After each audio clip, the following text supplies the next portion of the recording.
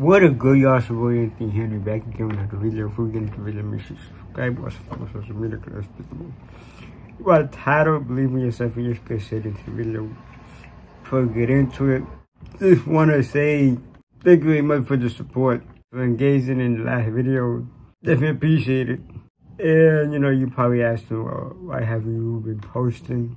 Well, the first thing is that I've definitely been working on something that I'm to tell you guys in the next video. And secondly, I've just been hanging out with family friends. And, you know, speaking of family friends, this is what this video is about.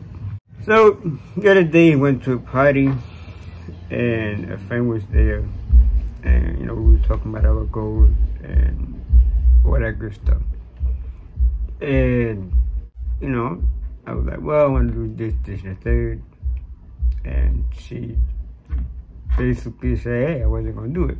She, she just said you were, you're not going to do it. And it was funny because, you know, we just, you know, just talking about it.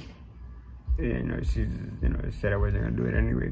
Now, you know, I'm not really the only one that goes through it, and this ain't really the first time it had, had happened. Um, you know, there's, there's other people that definitely gone through it before.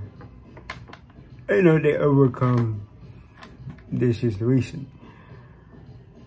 And, you know, you know, if you're going through this yourself, you got to just basically believe in yourself, you know, you just basically believe you can actually do it. Uh, because why not? Yeah, there are people that believe in you, there's people that believe in me. But the main thing is that you just gotta believe in yourself and you go from there.